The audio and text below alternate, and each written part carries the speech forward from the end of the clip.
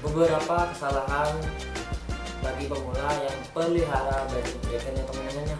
Nah oh, sebelum lanjut ke videonya buat teman-teman yang baru saja datang di channel aku selamat datang di channel aku. Dan jangan lupa dukung aku dengan cara subscribe channel aku dan agar aku lebih semangat lagi bikin video-video terbarunya. Dan jangan lupa untuk tekan tombol loncengnya agar kalian tahu ya update update terbaru dari video-video aku ya teman-teman ya seperti kalian tahu nih banyak pemula yang ingin pelihara baby dragon atau hewan-hewan lainnya tetapi tidak memahami bagaimana karakteristiknya dan eh, perawatannya dan cara makannya. Akhirnya eh, berdampak pada hewan-hewan peliharaan yang dipelihara yaitu kematian dan eh, bisa menyebabkan kefatalan yang lain gitu.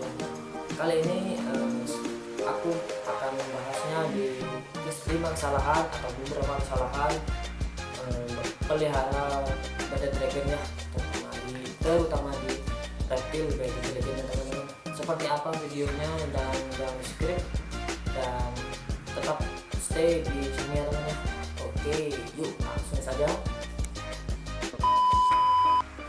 Oke teman-teman kembali di kesalahan yang pertama yaitu adalah menggabungkan Battle Dragon Baby dan Battle Dragon ini buat teman-teman yang pemula nih baru saja mengenal dan ingin melihara Battle Dragon alangkah baiknya eh, untuk kandang itu kandang satu dijadi eh, untuk satu Battle Dragon ya teman-teman. Karena eh, jika dijadikan satu untuk Battle Dragon Duvet dan Baby itu bisa mengakibatkan yang lebih kecil akan dimaksa teman-temannya. Entah itu ekornya atau kakinya. Karena Battle Dragon ini sedikit hewan reptil yang sedikit bodoh ya teman-temannya. Kadang dia tidak mengenal eh, sesama jenisnya akhirnya eh, dia bisa memakan saudaranya sendiri begitu ya teman-teman meskipun itu sudah dalam saudara saudara kandung ya jangankan eh, baby dengan Jeffrey kadang baby sama baby pun bisa memakan ya teman-teman ada tuh kan kadang aku sendiri menemukan ekor dan tangannya itu udah nggak ada udah putus gitu ya teman-teman.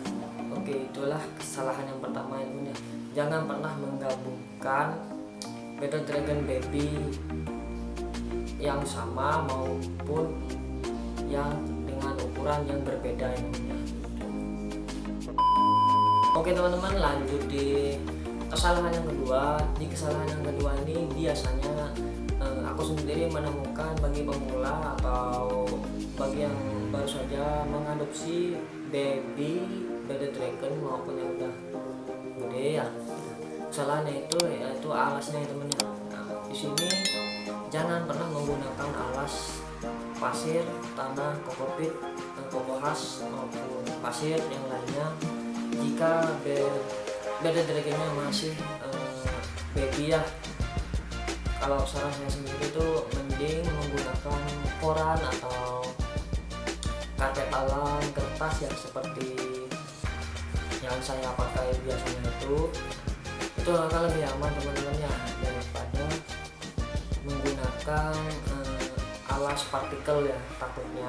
Bisa menyebabkan nanti uh, beda dragonnya adalah uh, bisa sakit atau pencernaannya terganggu maupun bisa menyebabkan kematian juga ya teman-teman karena BD itu kadang dia bisa menganggap itu makanan gitu ya. Gitu teman ya. Oke kesalahan yang kedua adalah jangan pernah menggunakan alas yang berupa alas yang mudah untuk kalian dapat seperti kertas atau kertas koran juga petalan juga bisa. Atau kadang-kadang juga saya tidak menggunakan kertas ya teman karena e, untuk kandang itu saya menggunakan box nah, makanya kadang saya tidak menggunakan kertas agar lebih aman dan e, pada saat penyemuran itu mudah teman-teman juga Oke teman-teman lanjut di kesalahan yang ketiga Nah biasanya ini eh, aku sendiri menemukan bah, dari teman-teman aku sendiri atau dari pengadopsi beda Dragon sendiri. Nah itu biasanya salah memberikan porsi makan atau porsi dietnya ya teman-teman ya. terutama untuk baby ya teman-teman ya. Untuk baby itu biasa aku kasih makan tiap harinya itu lima ekor aja hongkong maupun ulat kandang ya teman-teman ya biasanya aku lebih sering menggunakan uh, ulat kandang karena lebih kecil dan lebih lunak juga ya daripada ulat hongkong maupun ulat jerman. Dan untuk ulat jerman saya tidak merekomendasikannya karena nanti bisa infection atau mengalami gangguan dari pencernaan baby baby dragon sendiri ya teman-teman ya oh ya untuk dari kecil sampai dengan buffet atau dewasa jangan terus terus kalian ngasih makan serangga jangkrik dari baby sampai sampai dengan dewasa ngasih jangkrik jangkrik jangkrik terus nggak begitu teman-teman ya karena di beda dragon ini untuk baby uh, 30% itu sayuran dan 70% nya itu insek ya atau serangga teman-teman ya paling tidak kasih dua hari sekali itu sayuran ya, atau dua hari sekali itu serangga ya. nah berbalikannya dengan bed dragon ukuran dewasa ya teman-teman ya di situ yang ukuran dewasa biasanya udah aku kasih dia 70% itu sayuran dan 30% itu serangga teman-teman Oke teman-teman lanjut di kesalahan yang keempat yaitu tidak pernah menjemur bearded dragonnya teman-teman. Nah, wah itu kesalahan yang membuat saya ya bagaimana itu? Nah, setidaknya adalah waktu untuk menjemur reptil atau bearded dragonnya karena uh, sinar matahari itu bagus untuk hewan kesayangan kita apalagi untuk biasanya untuk saya sendiri itu menjemur menjemur bed dragon itu di jam 9 sampai jam 11 ya. Itu bagus. Tapi setiap hari ya ya jangan lupa setiap hari. Tapi eh, setelah berjemur nah di kandang itu biasanya saya menyediakan lampu ya untuk untuk dia apa berjemur berjemur juga teman-teman kan kan beda dragon ini membutuhkan suhu yang panas ya.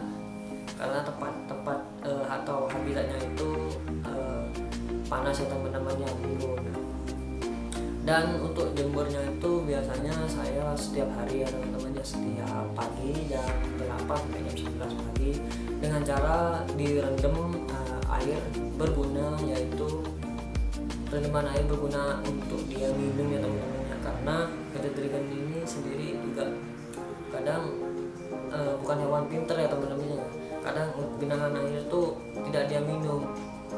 Itu nah, makanya lebih sering saya jemur sambil direndam air ya teman-teman agar dia minum dan bisa mendapatkan sinar UVB yang cukup untuk metabolisme dari beta dragon sendiri ya teman-teman oh ya teman-teman. Nah buat teman-teman nih yang baru saja melihara beta dragon jangan lupa untuk selalu memperhatikan vitamin dan kalsium untuk baby ataupun beta dragon yang udah dewasa ya teman-teman karena jika kekurangan eh, kalsium maupun vitamin yang lebih penting kalsium ya teman-teman ya karena bisa mengakibatkan pembekokan tulang atau tulang lunak. Akhirnya tulang-tulang di badan terikan sendiri itu membengkok ya teman-teman ya, itu pun tidak bisa kembali teman-teman ya kan kasihan juga teman-teman lebih baik uh, antisipasi uh, buat teman-teman yang pelihara badan terikan ini yaitu sedialah untuk kalsium dan sering-seringlah berjemur gitu ya teman-teman agar uh, badan terikan kesayangan teman-teman ini sehat dan tumbuh dengan baik ya teman-teman Oke teman-teman untuk kesalahan yang kelima biasanya ini uh, saya tidak merekomendasikan juga ya untuk kesalahan yang kelima ini. Terkadang untuk bagi pemula itu dia menaruh water dish di di kandang ya teman-teman. Dan buat aku sendiri itu uh, tidak menyarankan juga untuk menaruh water dish di kandang. Tapi uh, jika water dishnya itu digunakan untuk menaruh makanan nggak apa-apa ini tapi jika menaruh air atau air minum eh, saya re- saya rekomen jangan ya teman-teman ya karena bisa mengakibatkan uh, beda dragonnya itu jamuran ya teman-teman. Karena di kandang beda dragon itu kan kita pakai lampu tuh panas. Nah akhirnya uh, dari air itu menguap kandang itu kita lembab jadi lembab dan mengakibatkan beda dragonnya itu kan jamuran teman-temannya yang inilah kesalahan yang kelima ya teman-teman. jangan pernah uh, menaruh water dish kecuali water dish untuk uh, tempat makan ya teman-teman oke teman-teman nah, seperti itulah kesalahan-kesalahan beberapa kesalahan-kesalahan bagi pemula yang baru saja memelihara bebek ya semoga ini bermanfaat buat kalian yang ingin pelihara dan mengadopsi bebek dragon kesayangan kalian. Alangkah baiknya kalian harus eh, pahami dulu dari hewannya ya. Hewan yang ingin kalian adopsi ya terutama dari eh, karakternya dan porsi makan dan setup kandangnya dan perawatannya perawatannya itu seperti apa dan bagaimana cara agar beta dragonnya itu bisa tumbuh dengan sehat ya teman-teman ya. Oke teman-teman untuk video selanjutnya bisa kalian komen di bawah ya teman-teman ya. Dan jangan lupa untuk selalu dukung channel aku yaitu dengan cara subscribe channel aku dan hidupin loncengnya agar kalian tahu update-update terbaru dari video-video terbaru aku ya teman-teman ya. Saya Hakim dan dari Dragon aku diri Assalamualaikum